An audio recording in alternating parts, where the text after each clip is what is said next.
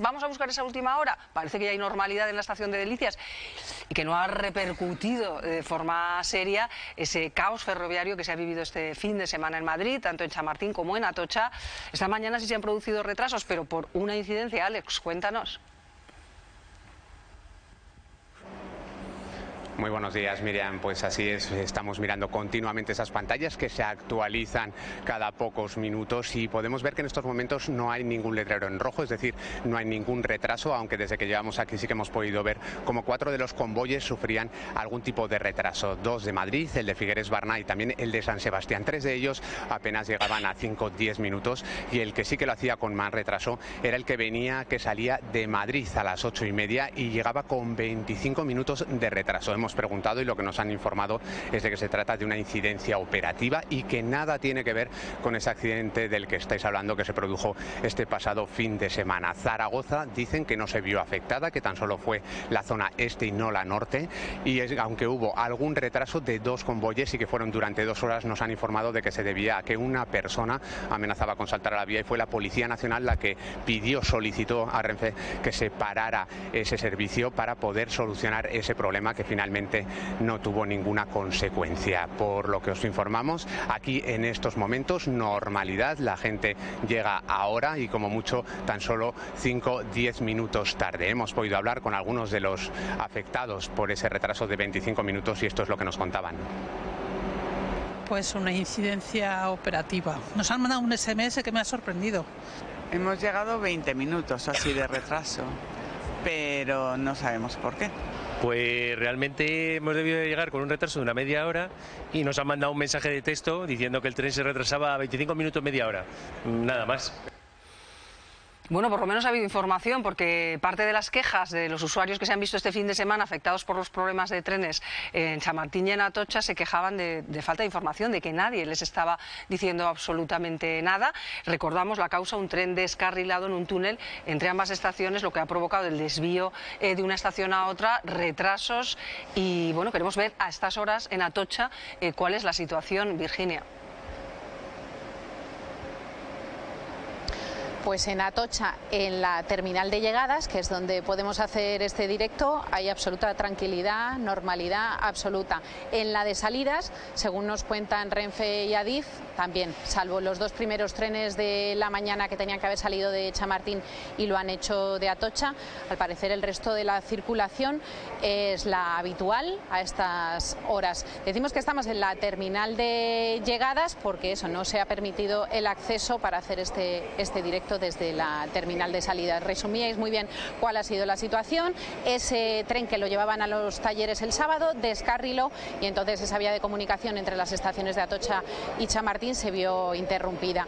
Han comentado también que para no afectar más a los viajeros y a la circulación de trenes se va a proceder al remolcado de ese tren el próximo fin de semana para que no afecte tanto, como decimos, a la circulación de los días de diario, que ya ha retomado la normalidad. Además, se suma ese incidente que lo comentaba Alex también desde Delicias, ese acceso de una persona a la zona restringida que hizo que se presentaran aquí las fuerzas y cuerpos de seguridad del Estado y que se sumara todavía más causa la aglomeración que había de los pasajeros tanto de Atocha como aquellos que habían sido redirigidos desde Chamartín. En cualquier caso, el ministro Puente decía que esto del descarrilamiento, desde luego, no era normal, que, que había que investigarlo.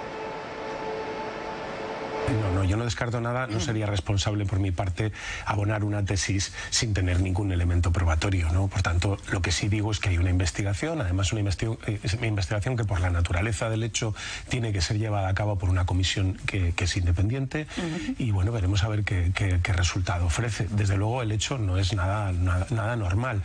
Fíjense que cada vez que hay una incidencia ferroviaria siempre se dice lo mismo, es que falta inversión. Esto no tiene nada que ver con la inversión, el tren es un 114, era un 114 que es de lo más nuevo que tiene la flota de alta velocidad y el túnel por el que transcurre el tren es un túnel eh, nuevo, eh, prácticamente recién estrenado. Por tanto, no hay ninguna razón, en el, al menos eh, relacionada con las inversiones, que tenga que ver con esta incidencia. Bueno, pues mientras se investiga lo ocurrido, eh, pues mm, eh, analizamos la situación mm, que ha ocurrido este fin de semana, que no es la primera vez que ocurre, eh, y que tú has vivido mm, de una manera tangencial, porque esto se debía a una incidencia, pero bueno, ha sido un nuevo retraso también del AVE, Joan. Sí, bueno, tangencial entre comillas, porque se estaban, aunque Renfe diga lo contrario, esta mañana todavía se estaban recolocando algunas personas que quedaron afectadas en los trenes de ayer y luego había esa operatividad de los trenes que salían de Chamartín, que lo hacían desde Atocha y que hacía que la estación pues, tuviera un volumen de trabajo eh, que no es el habitual un lunes por la mañana.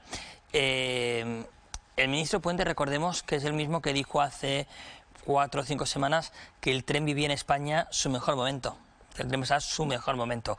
Ayer mismo el ministro en estas declaraciones que hemos escuchado las hizo en Lugo en una fiesta, en una comilona eh, que era el día... Son de esta mañana. De son de esta mañana. Ah, pues pensaba que eran las de ayer. Pensaba que eran las de ayer. De que Pero bueno, fue... entiendo que irán en la misma línea de lo que pudo sí, decir ayer. ayer dijo más o menos lo mismo, se fue a. Galicia a una cosa que es el Día do Veciño, eh, acompañado de gente de, del Partido Socialista, y nada más eh, empezar las declaraciones, porque me escuché todas las declaraciones, dice, estoy contento de estar aquí hoy, he venido a disfrutar a Galicia, la tierra de mi padre. Bueno, no sé yo si el día en el que España vive un caos eh, circulatorio en, las vías de tren, el ministro de Transportes se tiene que ir a una comida que no es oficial, a una comida que no es que no es imprescindible y encima dice a disfrutar. Es decir, yo soy el primero que dice que los gobernantes tienen que tener tiempo libre, tienen que tener tiempo para ellos, tiempo para sus familias, sobre todo, pero también tienen que ser un poco consecuentes y coherentes y a veces escuchar según qué, en según qué momento, sobre todo por aquellas personas que estaban en Atocha paradas horas, horas y horas sin información y sin saber qué hacer, es un poco una tomadura de pelo. Lo cierto es que en San Martín se está repitiendo, como digo, en algunos, eh, sobre todo fines de semana. Quiero decir que más allá de lo ocurrido eh, en esta ocasión por el descarrilamiento, que tan raro le parece al ministro mm, de, ese tren, mm, hay problemas habitualmente en San Martín. Pero es que no es solo este tren de este fin de semana, no es este 114 de Albia, que es cierto que es una de las máquinas más modernas de la flota actual, sino que en este túnel, en esta infraestructura de entre Atocha y Chamartín, llevamos en lo que va de 2024 que son tres o cuatro incidencias similares, descarrilamientos similares. Eh, porque además es, la línea que, que, va de Atocha, Príncipe Pío, Atocha, eh, unos ministerios, Chamartín Aeropuerto. Y es una línea que cogemos muchísimo la gente que vivimos en Madrid. Y que ya últimamente antes la cogías con el tiempo, bueno, justito, con el tiempo que te hacía falta y ahora ya tienes que plantearte salir dos horas antes de casa, coger dos horas antes del tren de cercanías, porque no sabes si vas a llegar. Por tanto, aquí se suman muchas cosas. Es verdad que en Chamartín se están haciendo obras, que se están mejorando las instalaciones, que si queremos mejorar las instalaciones tenemos que aguantar un poco a veces, por igual se planteó mal eso, igual lo que teníamos que hacer no era eh, modificar o reformar como se está haciendo en Chamartín, sino que se tenía que hacer una estación de alta velocidad, como se hizo en su momento con Delicias, bien hecha, eh, en otro lugar, como se ha hecho en Barcelona, en la Sagrera. La Sagrera, en lugar de poner patas para arriba eh, Barcelona Sans, se ha hecho una instalación nueva que es Barcelona Sagrera, todos los aves irán allí y mientras se está haciendo esa obra, en Sans no hay ninguna incidencia, nunca pasa nada. En Madrid permanentemente y eso afecta a los aves, pero afecta también a, la, a, la, media distancia y a los regionales y a las cercanías. Entonces luego mucha campaña de con transporte público, pero con transporte público ¿a qué hora? Jorge. Bueno, la verdad es que pobres pasajeros los que han sufrido este caos ferroviario, que ha afectado sobre todo a lo que son trenes de alta velocidad que van hacia Levante, hacia Murcia, no el caso de Aragón, salvo pequeñas incidencias hoy que parece ser que es por otra cuestión. Eh, pero es cierto que de un tiempo a esta parte nuestro sistema ferroviario pues está demostrando tener muchos agujeros. Los trenes de alta velocidad, uno de cada cuatro ya no llegan puntuales, los trenes que son de AVE, eh, lo cual dice mucho de un servicio que antes era de excelencia. Y es que han pasado muchas cosas. Es verdad que no está el sistema ferroviario español en su mejor momento, pero sí lo está en cuanto a pasajeros. Hemos pasado de 21 millones de, usuarios en el 2019 a 31 millones de usuarios. Son 10 millones más. Eh, esto tiene en gran medida pues, todos los incentivos que ha habido por uso del transporte público que creo que, que van en la buena dirección. Ahora bien, está claro que hay que invertir más en el mantenimiento de vías, aunque el incidente de este fin de semana no parece que sea por ese problema. Sí otros que se han producido este, este verano. Eh, eh, ha habido más caos ferroviarios en los últimos meses, tanto es así que eh, se obligó a dimitir al presidente de Adif, aunque creo que el Ministerio de Transporte sí que tiene que hacer una reflexión, primero investigar qué ha ocurrido este fin de semana y luego analizar dónde tiene que invertir y planificar bien esas obras, que es verdad que también estamos en los momentos de mayor inversión en la red ferroviaria española, pero hay que compatibilizar esas inversiones, como dice Joan, pues también con el propio uso de los viajeros y de las mercancías, porque de eso sabemos también Aragón que va a provocar incidencias, está provocando incidencias, obras en lo que es la red ferroviaria como lo decía de mercancías. el propio consejero. Estamos viendo ahí las aglomeraciones de personas buscando información, eh, pidiendo que les expliquen qué hacer. Al final les han cancelado trenes este fin de semana o han sufrido retrasos. ¿Y qué pasa con eso? Pues vamos a hablar con Iciar eh, Fernández, portavoz de la Organización de Consumidores. Hola, Iciar. Muy buenos días, ¿qué tal? Buenos días. ¿Qué deben hacer estos consumidores que aparte de cabreados y, que han sufrido esas molestias, eh, deben recurrir a... o sea, deben pedir la devolución de sus billetes? Eh, si han sido cancelados, si han sufrido retrasos, merecen una compensación. Eh, cuéntenos. Pues mira, lo primero, efectivamente, hay que reclamar y además se puede hacer directamente en la página oficial de la de la compañía, en Renfe o Boigo o, Irio, depende del tren que teníamos pendiente. Se pueden pedir indemnizaciones si hay por cancelación el 100% del reembolso del billete y, ojo, también se pueden solicitar aquellas compensaciones, es decir, si nos ha incurrido en gastos este retraso, es decir, si teníamos, por ejemplo, un alojamiento o si teníamos a lo mejor que hacer uso de un hotel o incluso una comida o cualquier cosa, cualquier gasto derivado de este retraso también se puede reclamar a la compañía. Y luego, por retrasos, es decir, si hemos llegado, hemos llegado, pero hemos llegado más tarde de la hora prevista, pues ya dependiendo del retraso ocasionado, es decir, si es entre una hora, hora y media, un tipo de indemnización más de 90 minutos ya es el 100% del reembolso íntegro del billete. Bueno, algo que ha cambiado, ¿no? Pues por ejemplo, ahora estamos hablando de esa incidencia de 25 minutos.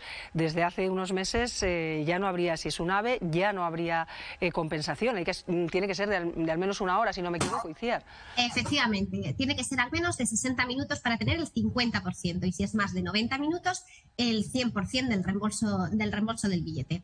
Mucho ojo porque tenemos un plazo de tres meses, ¿vale? Para reclamar este, esta indemnización, que tenemos que solicitarlo directamente en la página de la compañía ferroviaria.